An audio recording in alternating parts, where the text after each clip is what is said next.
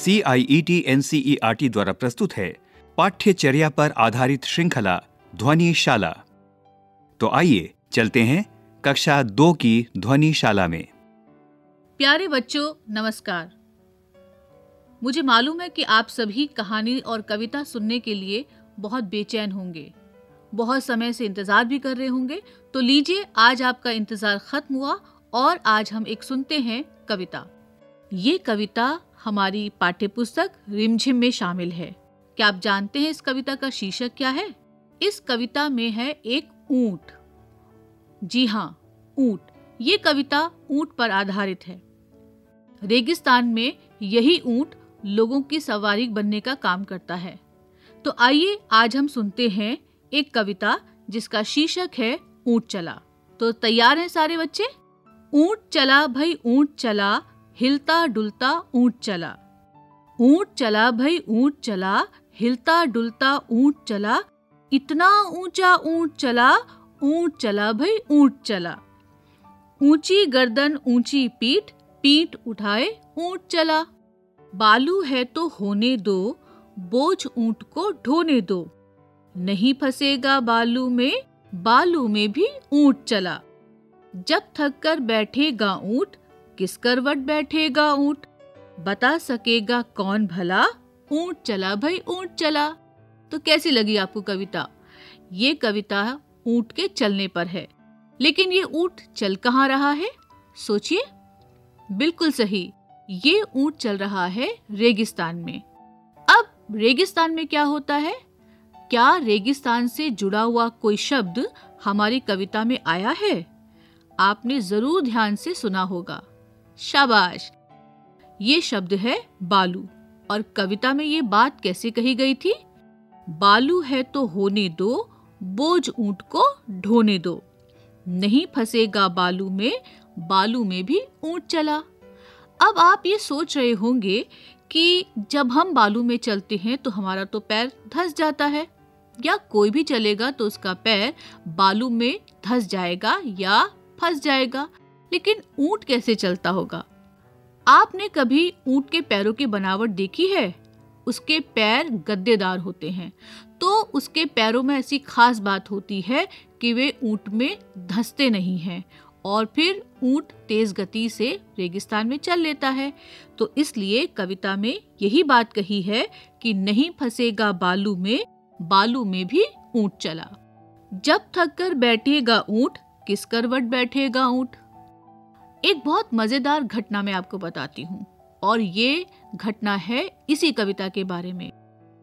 जब एक बार टीवी पे लाइव सेशन चल रहा था और आप जैसे नन्हे मुन्ने ये कविता पढ़ते हुए देख रहे थे तो हमारे एक नन्हे दर्शक का सवाल आया था। और पता है ये सवाल क्या था? ये सवाल था कि करवट किसे कहते हैं? अब मुझे समझ नहीं आया कि मैं इस बात का क्या जवाब दूँ। तो मन ने कहा कि करवट तो करवट होती है। अब इसका क्या अर्थ है? फिर बहुत सोचा बहुत सोचा बहुत सोचा और बहुत सोचने के बाद फिर मैंने कहा कि जैसे हम बिस्तर पे सोते हैं, पहले हम चित्त सोते हैं, यानी कि पीठ के बल सोते हैं। फिर आप अपने शरीर को, अपनी पीठ को या तो दाई तरफ़ मोड़ते हैं या फिर बाई तरफ़ मोड़ते हैं।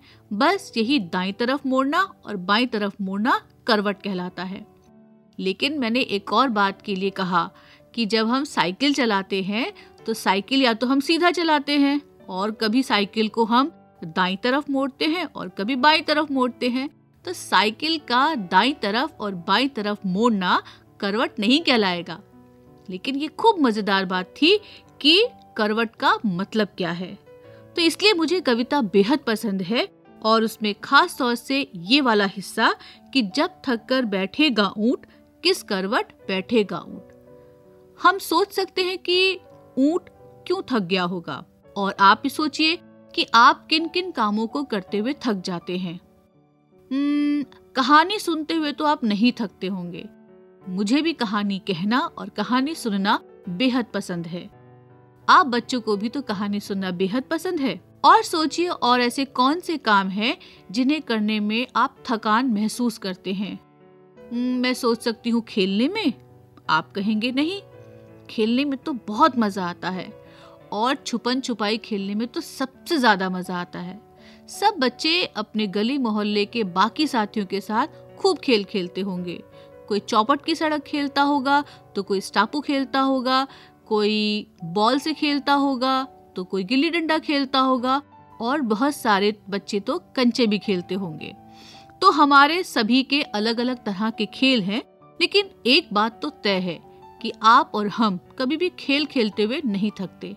तो ऐसे कौन से काम होंगे जिन्हें करते करते आप थकान महसूस करते हैं? ये हो सकता है कि आप कोई किताब पढ़ते पढ़ते थक जाते हों, या फिर आप लिखते लिखते थक जाते हों, या फिर आप बर्तन उठाते उठाते थक जाते हों तो ऐसे बहुत सारे काम हो सकते हैं आपके और हमारे, जिसमें हमें थकान महसूस होती है।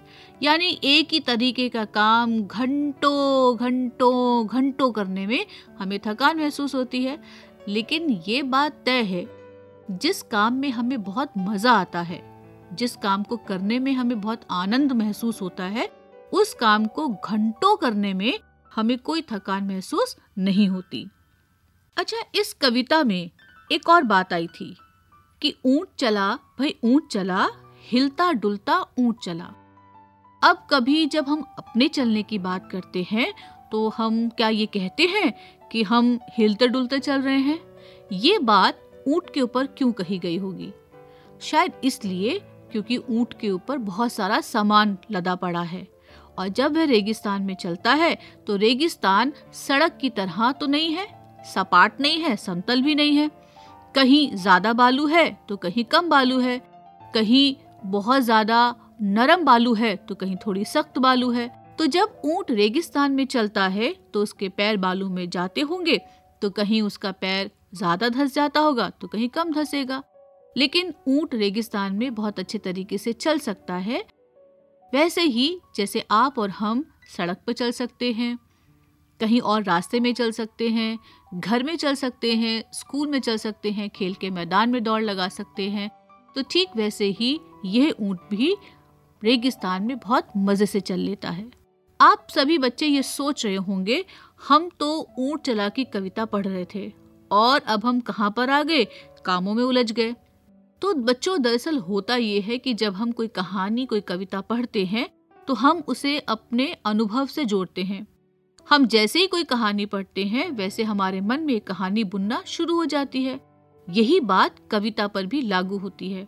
जब आप ऊँट चला की कविता सुन रहे थे तो आप ऊँट को अपने दिमाग में देख रहे थे। आप ये कल्पना कर रहे थे कि ऊँट कैसे रेगिस्तान में चल रहा होगा। अब ऊँट के बारे में कुछ और बातें इसमें आई हैं। इतना ऊँचा ऊँट चला ऊँट चला भाई, ऊँट चला। अब इतना ऊँचा ऊँट चला में क्या खास बात है? खास बात बिल्कुल है। शाबाश बच्चों, आपने बिल्कुल सही पहचाना। ऊँट बहुत ऊँचा होता है। हमारे आसपास या हमने जंगल में, टीवी पर, चिड़ियाघर में तरह तरह के जानवर देखे हैं। कुछ जानवर तो बहुत छोटे होते हैं, कुछ जानवर बहुत मोटे होते हैं, खूब ऊँचे होते हैं। ऊँट भी उन्हीं जानवरों में से एक ऐसा जानवर है जो बहुत ऊँचा होता है। अब आप सोच रहे होंगे कि कितना ऊँचा होगा ये ऊँट। तो आपके जहन में, आपके मस्तिष्क में, आपके दिमाग में जिराफ की भी तस्वीर उभर रही होगी। तो आप ये अंदाज़ा लगा सकते हैं कि बिल्ली तो बहुत छोटी है, लेकिन ऊँट बहुत ऊँचा है। कुत्ते के लिए क्या कहेंगे? कुत्ता भी छोटा सा ही है, उसकी भी उतनी ऊंचाई नहीं है। ऊँचा तो ऊँट है। हाथी और ऊँट में से आप किसे ऊँचा कहेंगे? अब बच्चों को ये लग रहा होगा कि किस सवाल में फंसा दिया हमने। तो मैं आपको सवाल में नहीं फंसा रही। आप सोचिए इमेजिन कीजिए, देखिए और तब जाकर ये तय कीजिए कि हाथी ऊँचा है या ऊँट ऊँचा है। कविता में एक और खास बात आई है। शायद आप बच्चों ने बहुत गौर से सुनी हो। ऊँची गर्दन, ऊँची पीठ पीठ उठाए, ऊँट चला। तो ऊँट कैसा है? उसकी गर्दन ऊँची है, उसकी पीठ ऊँची है और वह पीठ उठाकर रेगिस्तान में चल रहा है। बच्चों, आपने कभी टंग ट्विस्टर का नाम सुना होगा। यानी कि हम किसी शब्द को या एक वाक्य को बहुत जल्दी जल्दी बोलते हैं, जिसे हम टंग ट्विस्टर कहते हैं, जिसमें जीभ लड़खड़ाने लगती है। तो इस कविता में ऐसे बहुत सारे शब्द आए हैं, जो झटपट बोलने का मज़ा देते हैं। और जब हम झटपट बोलने की बात करते हैं तो शब्द लड़खड़ा जाते हैं, और हम जो बोलना चाहते हैं, हम वो बोल ही नहीं पाते हैं।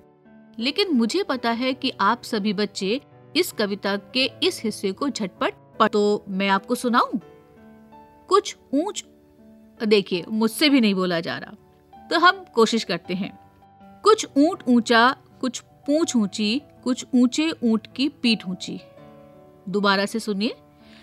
कुछ ऊँट ऊँचा, कुछ पूंछ ऊँची, कुछ ऊँचे ऊँट की पीठ ऊँची। अब आप इस हिस्से को जल्दी से बोलकर बताइए। और आपको पता चलेगा कि ऊँट, पूंछ, ऊँची, ऊँट, पीठ, ये सारे शब्द ऐसे लड़खड़ा गए, सब गडमड गडमड हो गए तो कुछ पता ही नहीं चल रहा था। यही मज़ा है टंग ट्विस्टर का, और यही मज़ा है ऐसे शब्दों को जल्दी जल्दी बोलने का। तो आप इन शब्दों को दोहरा लीजिए याद रख लीजिए और अपने दोस्तों से और अपने परिवार के सदस्यों से कहिए कि इस हिस्से को वे जल्दी जल्दी बोलकर बताएँ।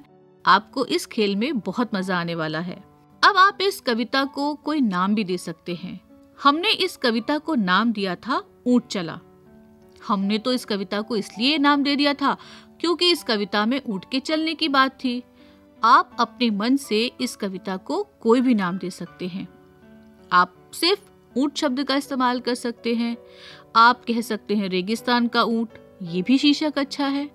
आप ऊँट भाई चले, ये भी कह सकते हैं तो खूब मज़ेदार शीर्षक आप इस कविता के लिए तय कर सकते हैं। आप कुछ भी रखिए, हमें आपका तय किया हुआ सब पसंद आएगा। आप बच्चे हैं ही इतने प्यारे, मुझे मालूम है कि आप अपनी कविता का शीर्षक भी बहुत प्यारा सा रखेंगे। आपने कविता में एक और खास हिस्से पर ध्यान दिया होगा।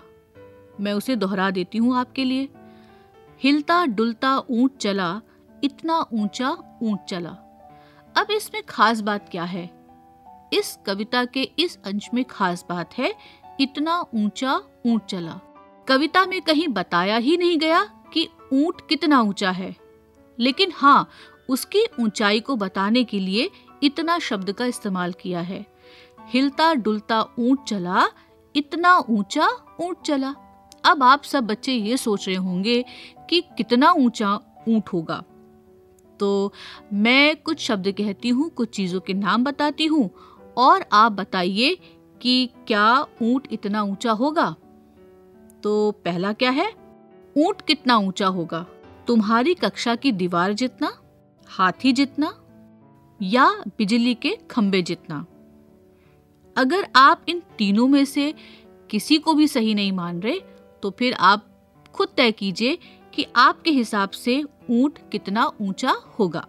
हमने यहाँ ऊँट के ऊँचे होने की बात की, लेकिन कुछ जानवर ऐसे भी तो हैं जो बहुत मोटे हैं। बिल्ली मोटी है?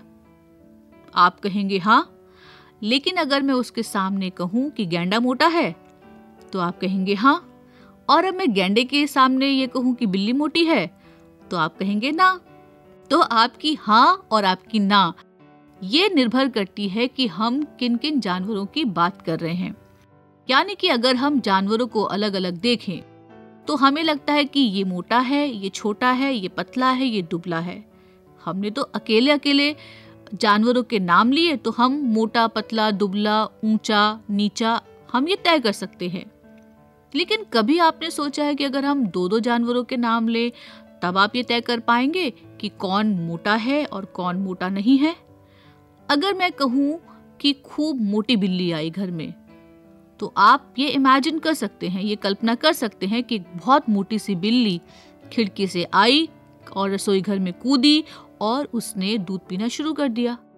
लेकिन अगर मैं ये कहूँ कि चूहा भी आया, ठीक? तो चूहा तो बहुत छोटा सा है। अब चूहा हमारे लिए छोटा है, लेकिन मैं ये कहूँ कि उस घर में एक चींटा भी आया। तो अब आप कहेंगे, चूहा बड़ा है। तो बस यही शब्दों का हेर फेर है और आप ये तय करने में थोड़ी दिक्कत तो महसूस करते होंगे कि ऊँचा कौन है, मोटा कौन है और छोटा कौन है। तो अभी हमने ऊँट के ऊँचे होने की बात की। अब हम मोटे होने की बात करें? तो प्यारे बच्चों, मुझे ये बताइए, हाथी कितना मोटा होगा? तुम्हारी माँ के संदूक जितना? सब बच्चे सोचेंगे कि माँ के पास संदूक कितना बड़ा होगा। या फिर ऊँट जितना? या फिर पहाड़ जितना? तो बच्चों को मैंने कहीं फंसा तो नहीं दिया? नहीं, यही तो मज़ा है शब्दों का। तो हाथी कितना मोटा है? तुम्हारी माँ के संदूक जितना? या ऊँट जितना? या फिर पहाड़ जितना? या आप कोई और ऐसा शब्द इस्तेमाल कर सकते हैं जिससे आप हाथी के मोटे होने के बारे में बता सके। तो चलिए हमने बात की ऊँचे होने पर, मोटे होने पर, और अब हम बात करते हैं छोटे होने पर। जैसे ये हमारे बच्चे छोटे मोटे से हैं, वैसे चींटी भी छोटी सी है। तो चींटी कितनी छोटी होगी? सोचिए। चीनी के दाने जितनी? तो आप बच्चे कहेंगे, नहीं, इतनी छोटी तो नहीं होती। तो चावल के दाने जितनी? नहीं, ये भी नहीं हो सकता। तो इलायची के दाने जितनी? तो आप बच्चे कहेंगे कि नहीं, ये भी नहीं है। ठीक है तो चींटी आपके हिसाब से ना तो चीनी के दाने बराबर जितनी छोटी है, न चावल के दाने जितनी छोटी है, और ना ही इलायची के दाने जितनी छोटी है। तो आप अपना शब्द खुद तय कीजिए कि आपके हिसाब से चींटी कितनी छोटी है। तो हमने इस कविता के आधार पर ऊँट के बारे में बात की, हाथी के बारे में बात की और चींटी के बारे में बात की। तो प्यारे बच्चों, आप अपने हिसाब से और बहुत सारे जानवर सोच सकते हैं। जैसे हम अगर पूछ की बात करें, ठीक है? तो ऐसे बहुत सारे जानवर हैं जिनकी पूछ या तो बहुत छोटी सी है, या बहुत बड़ी है, या फिर बहुत झबरीली है। झबरीली का मतलब झबरीली का मतलब होता है जिसमें बहुत सारे बाल होते हैं और बहुत फूली सी दिखती है, जैसे गिलहरी की पूंछ होती है झबरेली। तो आपने अपने आसपास तरह तरह के जानवर देखे हैं। अब आप ये बताइए कि इनमें से ऐसे कौन से जानवर हैं जिनकी पूंछ बहुत छोटी है? या ऐसे कौन से जानवर हैं जिनकी पूंछ बहुत लंबी है? या ऐसे कौन से जानवर हैं जिनकी पूंछ ना तो बहुत छोटी है और ना ही लंबी है? लेकिन आप प्यारे बच्चे ये भी सोच रहे होंगे कि कुछ जानवर तो ऐसे हैं जिनकी पूंछ हमेशा मुड़ी रहती है। मैं समझ सकती हूँ आप सभी कुत्ते के बारे में बात कर रहे होंगे कि कुत्ते की दुम हमेशा टेढ़ी रहती है, वह कभी सीधी हो ही नहीं सकती। तो आपने गाय की पूंछ भी देखी है, भैंस की पूंछ भी देखी है, हाथी की भी पूंछ देखी है। अब हाथी तो इतना मोटा और इसकी पूंछ इतनी छोटी सी। तो और तरह तरह के जानवर कौन से हैं? ऊँट की भी पूंछ होती है, शेर की पूंछ होती है और बंदर की पूंछ होती है और लंगूर की पूंछ तो बाप रे बाप, कितनी लंबी होती है। वह इतने ऊँचे पेड़ की एक टहनी पर बैठता है और उसकी पूंछ नीचे ज़मीन को छूती है। तो लंगूर की पूंछ तो बहुत लंबी होती है। तो अब आप ये खेल खेलिए, आप ये प्रश्नोत्तरी कीजिए अपने घर में और आप एक कागज़ पर सारे जानवरों के नाम लिख लीजिए और ये अपने आप हाँ तय कर लीजिए कि किसकी पूंछ छोटी है और किसकी पूंछ बड़ी है। और आप फिर एक एक पर्ची खोलते चले जाइए और सबसे पूछते जाइए अच्छा बताइए कि गधे की पूंछ कैसी होती है? छोटी है या बड़ी है? लंगूर की पूंछ कैसी है? छोटी है या बड़ी है? ये खेल खेलने में आप सभी को बहुत मज़ा आएगा।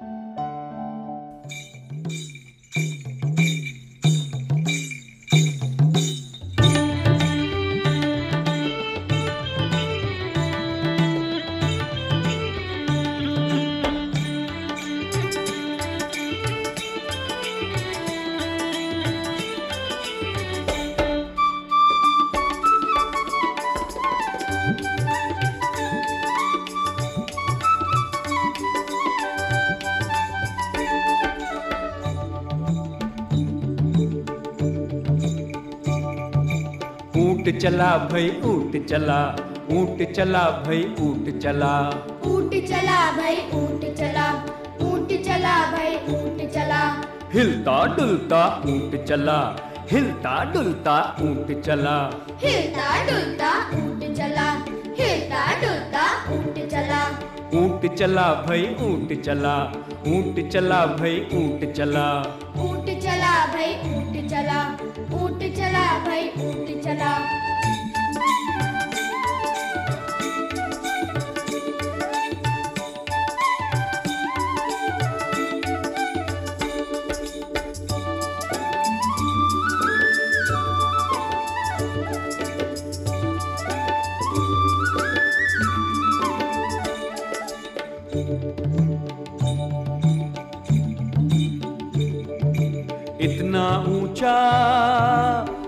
चला।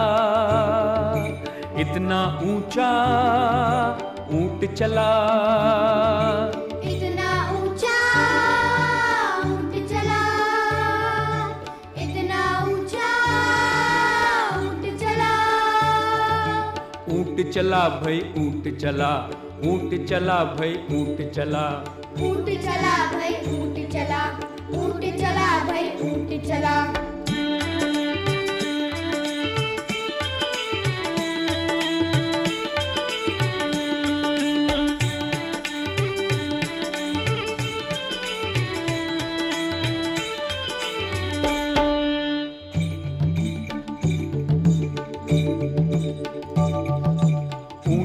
गर्दन ऊँची पीठ ऊँची गर्दन ऊँची पीठ। ऊँची गर्दन ऊँची पीठ ऊँची गर्दन ऊँची पीठ। पीठ उठाए ऊँट चला पीठ उठाए ऊँट चला।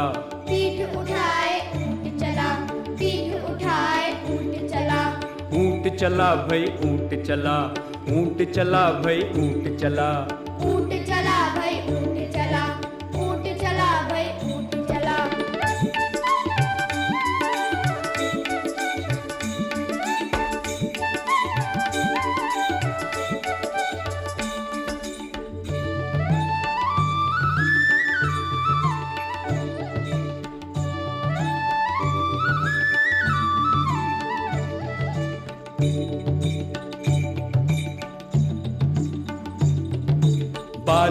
है तो होने दो। बोझ ऊँट को ढोने दो।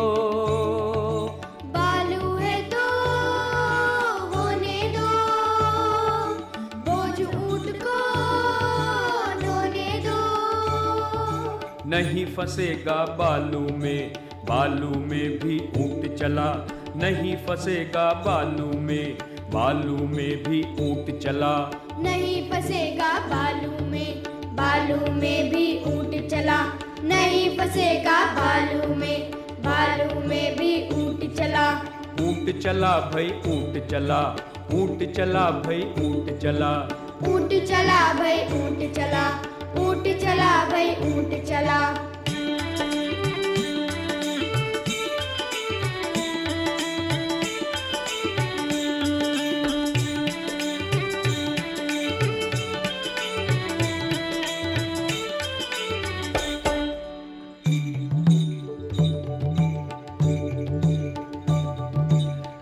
तक कर बैठेगा ऊँट किस करवट बैठेगा ऊँट? जब तक कर बैठेगा ऊँट किस करवट बैठेगा ऊँट? जब थक कर बैठेगा ऊँट किस करवट बैठेगा ऊँट?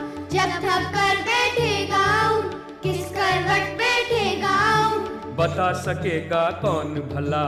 ऊँट चला भाई ऊँट चला। बता सकेगा कौन भला? ऊँट चला भाई ऊँट चला। बता सकेगा कौन भला? ऊँट चला भाई ऊँट चला। बता सकेगा कौन भला? ऊँट चला भाई ऊँट चला। ऊँट चला भाई ऊँट चला। ऊँट चला भाई ऊँट चला।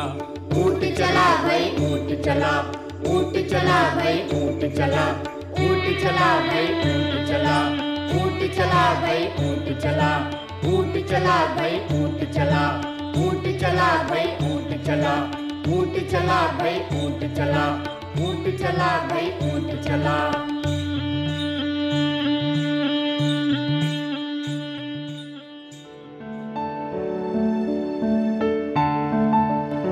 तो आपने ये कविता सुनी, ऊँट चला। कैसी लगी आपको कविता? यकीनन आपको इस कविता को सुनने में बहुत मज़ा आया होगा भाई मुझे तो कविता गाने में बहुत मज़ा आया तो आज हम यही विदा लेते हैं आपसे नमस्कार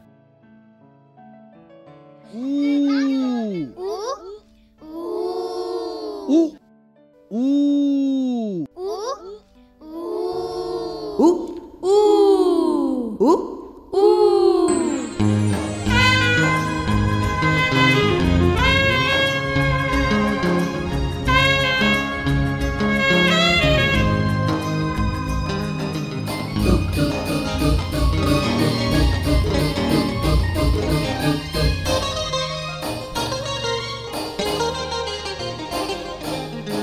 वकील थी डॉक्टर उर्मी उड़ जाती वो ऊपर ऊपर ऊपर ऊंचाई से देख के नीचे पहुँचे जहाँ मुसीबत पहुँचे जहाँ मुसीबत उसे उर्मी उसे ऊँचा उसे उड़ और उसे ऊपर ला ला ला ला ला ला ला ला ला ला ला ला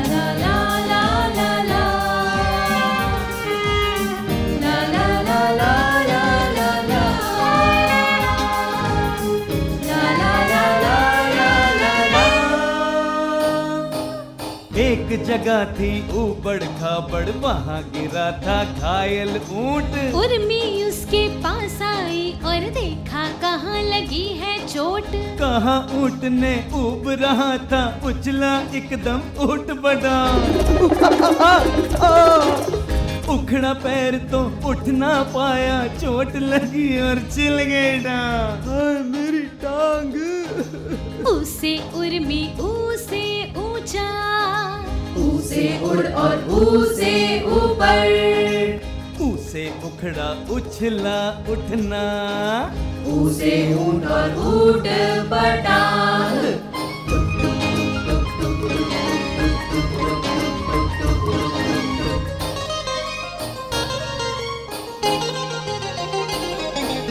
उर्मी तब लगी दवा बताने ऊद बिलाव गया वो लाने। उर्मी के उपचार से ऊँट का दर्द मिटा तो लगा ऊँगने तब उपदेश दिया उर्मी ने। ऊँट का है बस एक उपाय मिल के रहो और दोस्त बनाओ। फिर न करोगे हाय हाय। उसे उर्मी उसे ऊट उसे उपचार उसे ऊंघ उसे उपदेश और उपाय उसे और ऊद बिलाए।